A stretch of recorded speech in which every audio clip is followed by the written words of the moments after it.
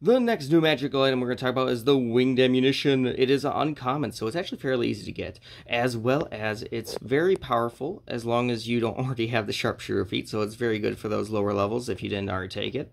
Uh, and we can go ahead and look at what it does from the Book of Many Things. So first, it goes ahead and is seen as the, it, basically it is uncommon to see, look at that, and it's any ammunition, so it could be a dart technically speaking. So, uh, so whenever you make a ranged attack uh, with this ammunition, you can ignore half and three quarters cover, as well as attacking at long distances doesn't impose disadvantage. So it's pretty strong in that fact. It does exactly what uh, basically the sharpshooter feat does, uh, but this is a magic item that completely, you know, goes around that. So as long as you have it, it should be fine. Kind of crazy, kind of cool.